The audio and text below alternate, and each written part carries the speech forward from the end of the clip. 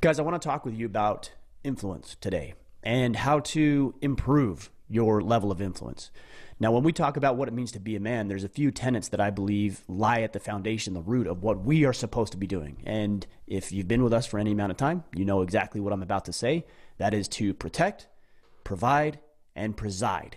Preside is synonymous with leadership. Now, in order to protect, provide, and preside, you need to be able to influence other people. Uh, you might be able to get some compliance from people depending on your position of authority and, and the position within a company or your family structure. Uh, your kids, for example, or your employees might comply because they're compelled or obligated to do that. But leading people is about getting them to voluntarily follow you. It has to be voluntary. Otherwise, I don't really believe it's it's leadership. It might be dictatorship or tyranny, but it isn't voluntary leadership. And in order to persuade people, to influence people to voluntarily follow you, you actually need to be worthy of, of being followed. Otherwise, people won't. Uh, my friend uh, Brett Bartholomew talks about this. He talks about the difference between compliance and commitment. Compliance is just getting somebody to do something because you have that position of authority. You can get an employee to do that task because the fear of them getting fired or losing losing their job or something like that uh, is what's looming over their head, right? Uh, commitment, on the other hand, is they are extremely bought into the idea of following you because they believe that you can lead them to somewhere that they cannot get to currently on their own.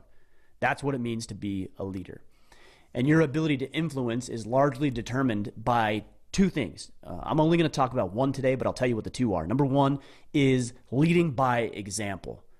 You have to lead by example. You cannot lead somebody to somewhere that you are not currently uh, yourself or you're not on the path to going in that direction because leadership starts up front.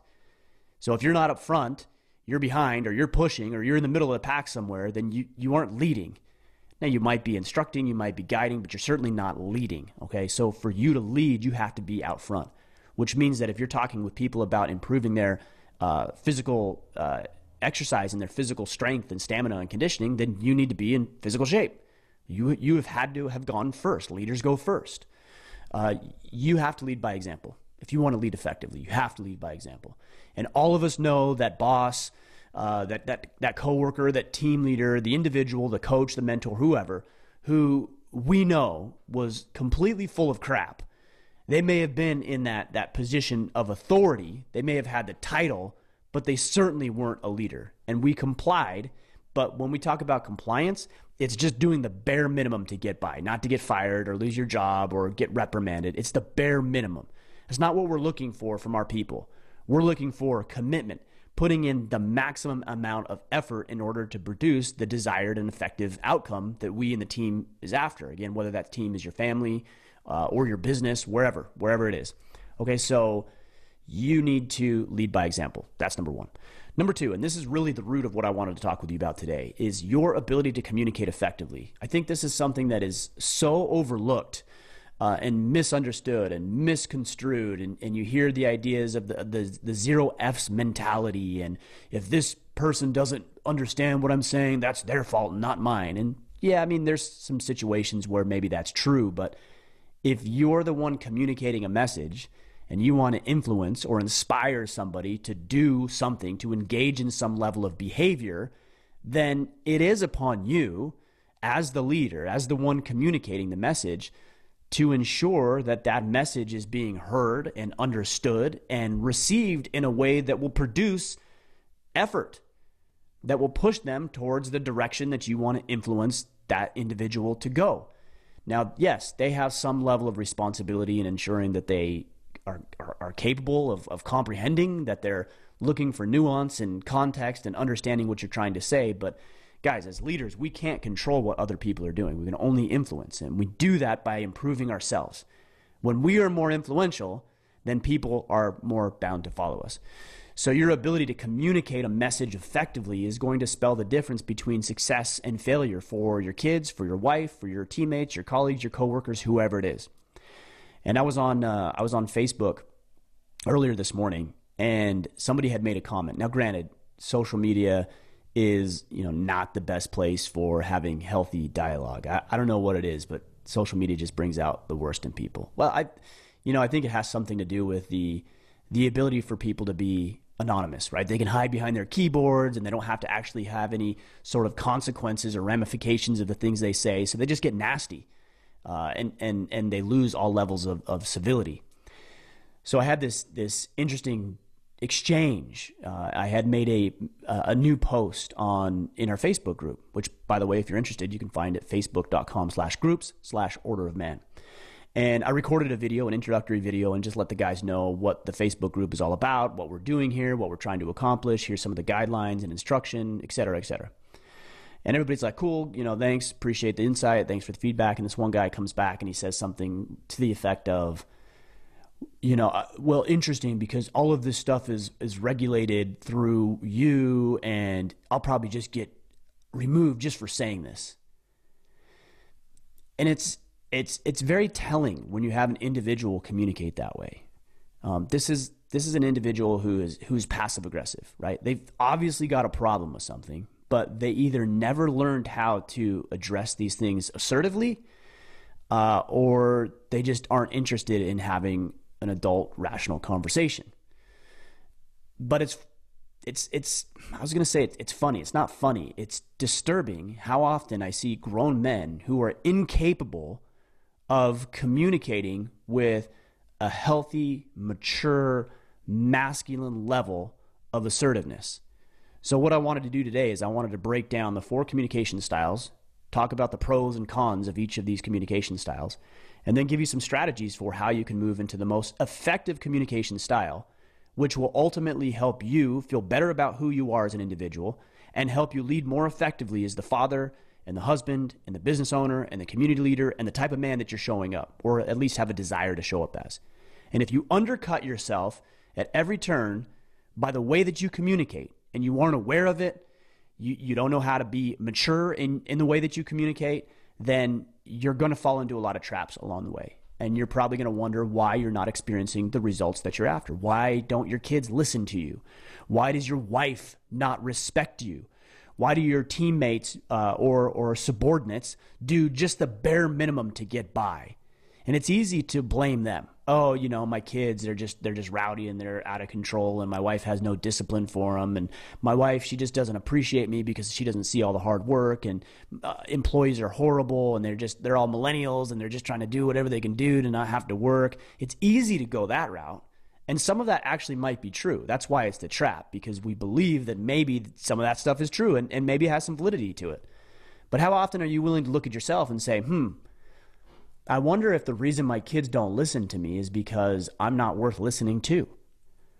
I wonder if the reason that my wife doesn't respect what I'm doing is because I'm not communicating effectively what it is I'm doing and how I am actually serving and leading the family. I wonder if the reason my employees don't follow me or at a minimum just do exactly what is necessary to get by and nothing more is because uh, they aren't interested in being led by me as the supervisor or team leader or whatever of, of the organization. Like, what if instead of putting the, the burden of responsibility on everybody else and all these external resources and, and, and circumstances, that we can't control, we took it upon our own shoulders and we said, what can I do to fix my ability to communicate effectively? So let's break this down. The first communication style, number one, is aggressiveness. All right, we, we all know the aggressive jerk. He railroads people, he bulldozes people, he's the red personality, he's the quote unquote alpha, right? And anybody that gets in his way or doesn't understand is an idiot and a moron, and he just railroads people and he just pile drives them in every opportunity that he can. And here's the here's the trap. This guy actually gets a lot done. The aggressive guy gets a lot done in the short term. He can move the team along, he can push them along, he can he can get them going, he can produce the results and what happens is those results get produced immediately and then this guy because of his ego and, and look, I've fallen in this trap before too. But the guy, because of his ego, believes that this is the right way to communicate. If I can just be an, a bully and I can just be aggressive and I can just run people over, then people are going to do what they're supposed to do and they're all idiots anyways. And I'm the only one who knows how to do this. So I'm just going to keep being aggressive. And what you end up seeing is that in the short term, this individual produces results, but in the long term, nobody likes him. And then they start, teammates or employees or family members start to undermine his authority and his credibility.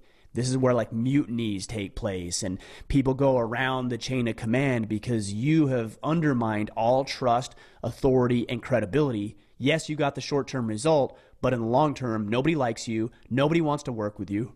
Excuse me and everybody's going to put forth inferior effort.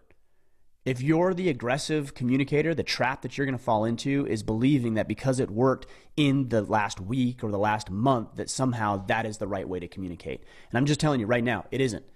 It isn't. It is an effective way to communicate. It's it's it's damaging. It's destructive to the people you care about, and it's destructive to you and the results that you're trying to produce. So that's the first communication style. The second communication style is passive.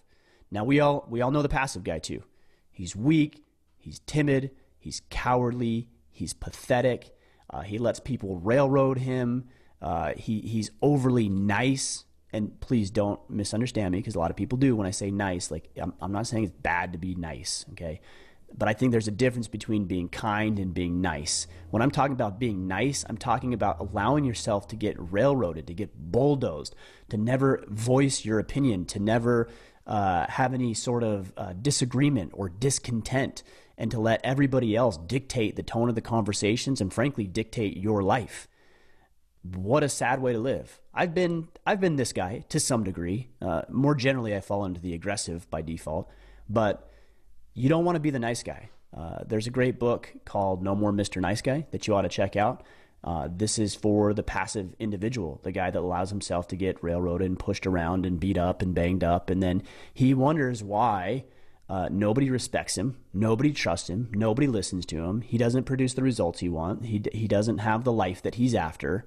And he can't figure out why because, he, oh, he's so nice. Like, I, I don't know why people don't like me. I'm always so nice. Because people, especially those who are looking to be led, aren't looking for nice. They're looking for capable, they're looking for proficient. They're looking for leaders who are going to get the job done, not the nice guy. Like people just don't want to generally just feel fluffy and nice. They want to get the job done. So you got to be careful of being that passive guy. All right. Now, the third communication style is the passive aggressive. The passive aggressive is the jokester. He's the sarcastic one.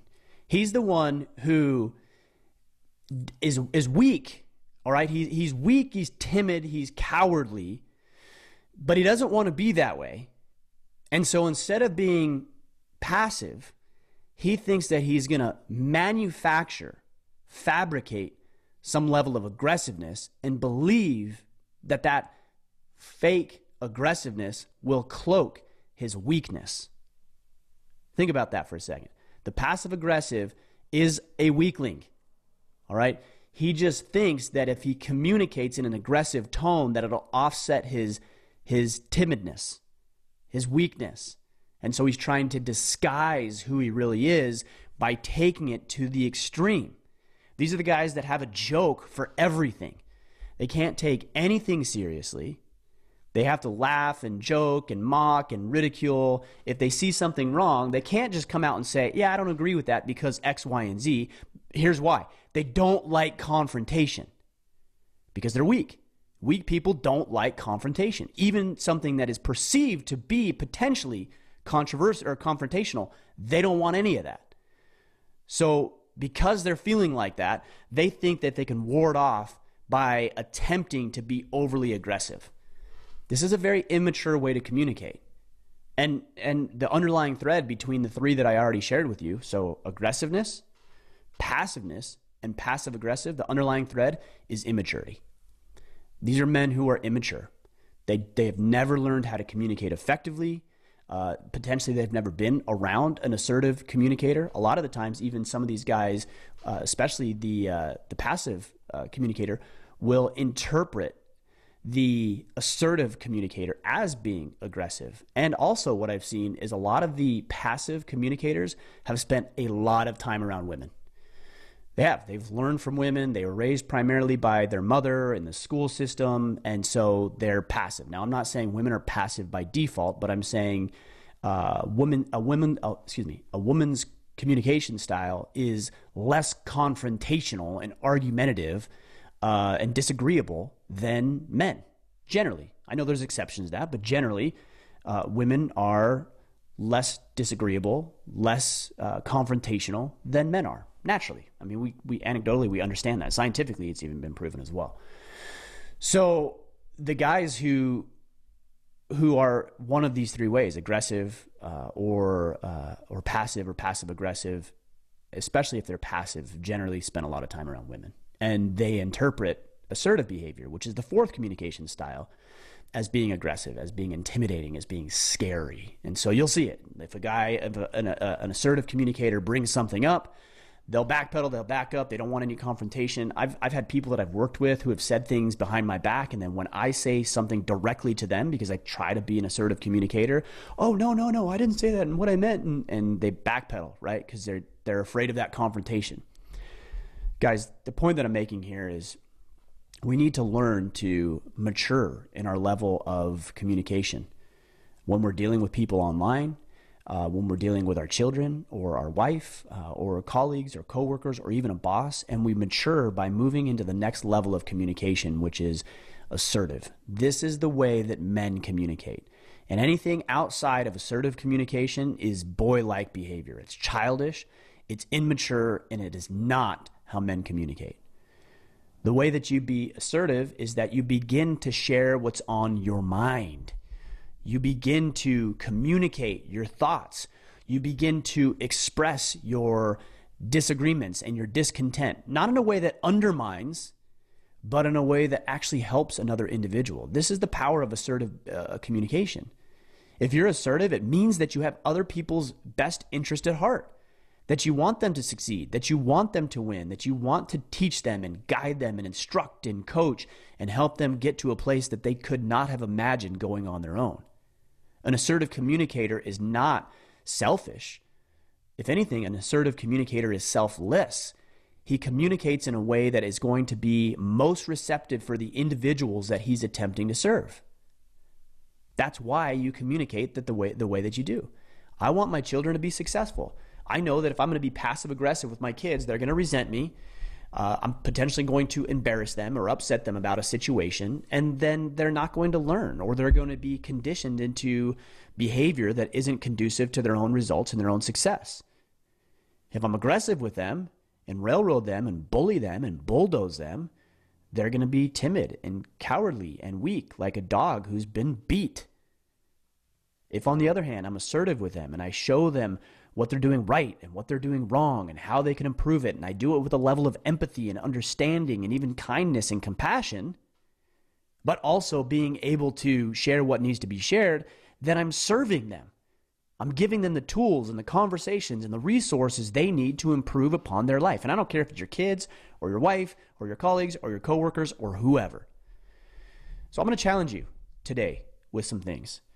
I want you to take an inventory of your communication style and you're not going to turn this into me. You're not going to turn this into anybody else. Maybe talk with uh, about it with your wife or your kids or the people who are closest with you. Ask them, how do I communicate? And which camp do I most often fall into? Because look, we can all fall into all four. And I'm not saying that I don't fall into being passive or aggressive or even passive aggressive at times. I do. I'm not above that. I haven't completely mastered that. I don't know if I ever will. But I'm conscious about moving into assertiveness. So the first challenge I'm going to issue you guys today is to take inventory of your own life and ask yourself, what camp do you fall into most often? Be as objective as possible because nobody's grading this. It's you. Like you can fool me, you can fool everybody else, but you can't fool yourself, and you certainly can't fool the people who are closest to you. Okay? That's number one. Challenge number one. Challenge number two is I want you to take an inventory with the people who are closest to you. That could be your colleagues, your coworker, your children, maybe a neighbor, a brother, a family member, your wife, and ask them which camp you fall into most often. And don't be defensive. All right? The feedback that you're getting from them is valuable. But if you start to defend yourself and you start to say, no, I don't really do that, you're undermining your efforts. Like they're trying to help you, they're trying to serve you, and you asked for the help. So don't undermine it when they give you that feedback. Say, thank you for that feedback. Is there anything that I can do to move into this more assertive camp? And by the way, if you undermine them and you make them feel foolish for giving you the feedback that you asked for, then the next time you ask for feedback or a favor or some some some guidance, they're not going to give it to you because they don't believe you. You're out of integrity. Okay? Now, here's the third. Maybe third and fourth challenge. There's a book called The Assertiveness Workbook. If you know that you fall into one of the three camps I first talked about, aggressive, that you railroad people, passive, that you let people railroad you, or passive aggressive, that you're weak, but you're trying to disguise and cloak it as being strong, then I would challenge you to pick up a copy of the book, The Assertiveness Workbook. All right, The Assertiveness Workbook. I don't think I have it back there. I did at one point, but uh, I think I actually lent my copy to somebody or, or, or, or mailed it to him. I can't remember. I don't have it, but I need to get it again. So go through the Assertiveness Workbook, and then there's there's tasks and there's challenges and things that you need to do in there that will really help improve you. Um, there's a couple little little things that you can do um, that might actually help. Some other little challenges. Uh, one is asking for a discount on anything that you purchase. Asking for a discount. You would be amazed at how much and how quickly that will build your assertiveness because it's scary, right? It's intimidating. You want to do that. And there's all kinds of baggage like, oh, if I ask for a discount, maybe I'm going to feel uh, or, or, they're going to interpret it as me being cheap, right? There's all this mental and emotional baggage that comes into play, but that will help you practice assertiveness, asking for discounts every opportunity that you can. So that's the first one. The other one that I would give you as, a, as an exercise is saying no to people's requests, not all of them, just things that don't align with you. Saying no to people's requests without offering an explanation. That is very challenging to do because you think you owe somebody an explanation and you don't. If somebody asks you if you can do something and you can't, or frankly, you just don't want to, then simply say, No, I'm not going to be able to do that this weekend or tonight or whatever it is, and leave it there. That's going to be very, very difficult at first, but then you'll realize it's not the end of the world. It's not as hard, and you're conditioning your ability to be assertiveness with people, to speak what's on your mind, to share the truth, but to do it in a way that serves you and other people well. I mean, if you, here's one thing if people ask you for favors and you say yes, but you don't really want to do it, you're either going to do it in a half assed manner, which is not good, or you're just going to drop the ball and you're not going to do it at all, which undermines your influence, right? Because now you're lying. So you told them you would do something and then you don't show up because you didn't want to do it in the first place, but you were too afraid to say no. And and now they don't believe you. Like so what's worse, just saying no in the first place or saying yes and then letting them down and lying to an individual who's relying upon you? Guys, this is a much needed lesson. All right. I know that maybe this one isn't as interesting or fascinating as some of the podcasts I've done in the past, but I'm telling you, if you want to lead, you want to inspire and motivate and influence other people, and you should, because that third component of being a man is all about influence and leadership, then you're going to need to learn and have to learn how to be more effective in the way that you communicate with other people with a level of kindness and empathy and understanding, and at the root of it, a desire to serve those people. You don't serve anybody by being aggressive. You don't serve anybody by being passive. You don't serve anybody by being passive aggressive, but you serve yourself and you serve others by being assertive in the way that you communicate your message, your thoughts, your ideas, uh, and, and the things that you want to share with people. All right, so we're to sign out with that. Uh, you've got some challenges. Do an inventory on yourself, have the people closest to you do an inventory with you pick up a copy of the assertiveness workbook and go through those couple of challenges that I issued, which was uh, asking for a discount every opportunity you can. Very challenging, believe it or not. Some maybe challenging for, for more for some people more than others. Uh, and then also saying no without providing any sort of explanation. But there's other strategies and um, exercises that you'll go through in the assertiveness workbook. I hope that helps, guys. If you have questions, comments, thoughts, ideas, concerns, whatever, uh, hit me up on Instagram, Facebook, YouTube, Twitter, wherever you're doing the social media thing. Hit, hit, hit, me an email, join our Facebook group, join the Iron Council. That's our exclusive brotherhood, which is really, really growing lately. Uh, you can check that out at orderofman.com slash iron council. Uh, outside of that, just connect with us on the on the socials and we'll stay uh, we'll stay connected and engaged over there. All right, guys, I'm gonna sign out. We'll be back next week for our interview series, but until then, go out there, take action, and become the man you are meant to be.